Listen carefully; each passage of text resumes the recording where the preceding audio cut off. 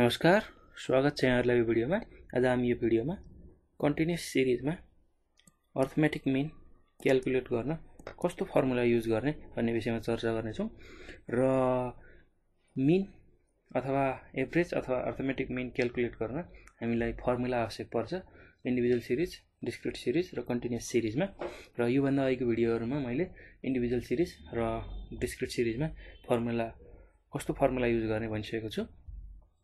र यो कन्टिन्युस सिरिजको डाटालाई हामी ग्रुप डाटा पनि भन्छौँ अथवा कन्टिन्युस सिरिजको डाटा भनेको यस्तो फर्ममा हुन्छ। यसरी एक्स भ्यालु यसरी फ्रिक्वेन्सी हुन्छ। एक्स भ्यालुको सर्टेन रेन्ज हुन्छ यसरी। र यो भनेको लोवर लिमिट हो। यो भनेको अप्पर लिमिट हो। यसरी क्लास इन्टरभलहरू दिएको हुन्छ। र क्लास इन्टरभल र फ्रिक्वेन्सी यसरी आयो भने यसलाई कन्टिन्युस सिरिजको डाटा भन्छौँ। र हामीसँग जम्मा जम्मै तिनवटा फर्मुला छ कन्टिन्युस सिरिजमा अर्थमेटिक मिन क्यालकुलेट गर्नको लागि र ग्रुप डाटा भन्नुको मतलब डेटाहरू अरेन्ज भएको एसेन्डिङ अथवा डिसेन्डिङ अर्डरमा भन्ने बुझिन्छ। एसेन्डिङ अर्डर भनेको बढ्दो क्रममा डाटा एरेन्ज भएको र डिसेन्डिङ अर्डर भनेको घट्दो क्रममा डाटा एरेन्ज भएको भन्ने बुझिन्छ। र फर्मुलाको कुरा गर्दा हामीसँग तिनवटा फर्मुला मैले भनिसकेँ र पहिलो मेथड डाइरेक्ट मेथड हो। डाइरेक्ट मेथडमा हामी X bar is equals to summation F X by N अथवा X bar is equals is equals to summation F M F M by N गर्छौँ। र यो जुन सिम्बल छ यसले समिसन रिप्रेजेन्ट गर्छ जसको काम भनेको भ्यालुहरूलाई एड गर्दै लग्ने भन्ने बुझिन्छ। र एक्स बार भनेको मिन भयो हाम्रो निकाल्न पर्ने मिन एफ भनेको फ्रिक्वेन्सी त्यसै गरी एन भनेको नम्बर अफ अब्जर्भेसन र एम अथवा एक्सले चाहिँ क्लास इन्टरभलको मिड भ्यालु रिप्रेजेन्ट गर्छ। यसरी कन्टिन्युस सिरिज दियो भने हामीले जहिले पनि मिड भ्यालु निकाल्न पर्ने हुन्छ। यो एम अथवा एक्स जहिले पनि रिप्रेजेन्ट गर्न सकिन्छ। र यसरी डाइरेक्ट मेथडबाट हामीले मिन क्यालकुलेट गर्ने फर्मुला सिक्यौँ। र अब indirect मेथडमा X bar is equals to A plus summation F D by N. यो फर्मुलाको युज हुन्छ। यसलाई चेन्ज अफ ओरिजिन पनि भनिन्छ। किनभने यो डी भनेको एक्स माइनस ए जसलाई डेभिएसन भन्छौँ। यो चेन्ज अफ ओरिजिन रिप्रेजेन्ट गर्ने एउटा प्यारामिटर हो र एक्स बार भनेको यो फर्मुलामा मिन हो।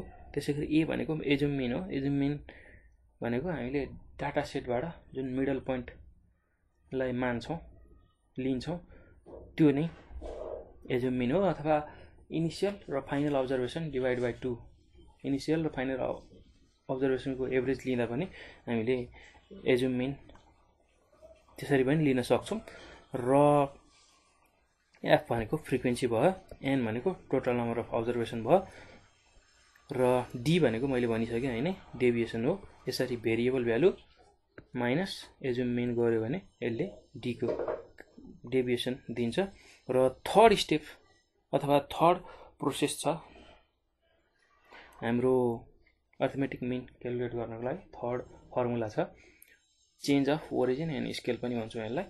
किनभने यसमा यो जुन भ्यालु छ डिडिएस equals to X minus A by H यो माथिकोले चेन्ज अफ ओरिजिन रिप्रेजेन्ट गर्छ भने तलकोले चेन्ज अफ स्केल रिप्रेजेन्ट गर्छ।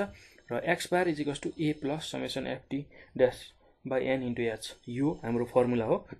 र यसमा एक्स बार भनेको एक्चुअल मिन जुन निकाल्नु पर्ने छ ए भनेको एजुम मिन हो।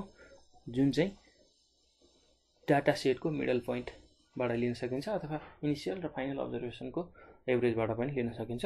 र एफ भनेको फ्रिक्वेन्सी हो र एन भनेको टोटल नम्बर अफ अब्जर्भेसन हो।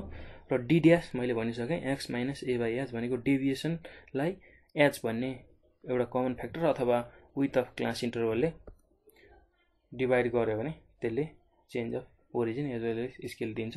र यसलाई नै स्टेप डेभिएसन मेथड भन्ने गरिन्छ।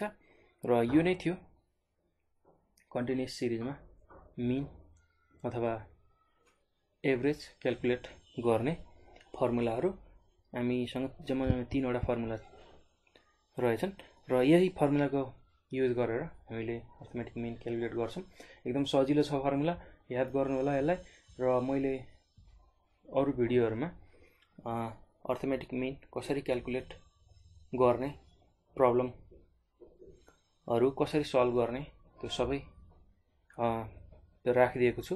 र यो भिडियो यो फर्मुला प्लस त्यो भिडियोहरू हेर्नुहोला र दुइटैलाई हेरेर गर्नुभयो भने पढ्नुभयो भने एकदमै सजिलो हुन्छ तपाईँहरूलाई बुझ्न। यसमा फर्मुला मात्र छन् र अरू भिडियोहरूमा हामीले प्रब्लम गराएर राखिदिएको छौँ। र दुइटैलाई हेरेर पढ्नु होला सजिलो छ बुझ्नु होला र तपाईँहरूलाई यो भिडियो बुझ्दा अथवा पढ्दाखेरि केही कन्फ्युजन भयो भने हामीलाई सम्झाउन सक्नुहुन्छ। त्यसको लागि nine eight four nine five nine five eight nine five यो हाम्रो नम्बर र त्यसै गरी हाम्रो Facebook page statistics learning Nepal. यसमा पनि हामीलाई हामीसँग जोडिएर आफ्नो समस्याहरू राख्न सक्नुहुनेछ र हामी त्यसको समाधान तपाईँहरूलाई गराउनेछौँ र यो भिडियो हेरिसकेपछि यसलाई लाइक सब्सक्राइब र सेयर गर्न नभुल्नुहोला। धन्यवाद।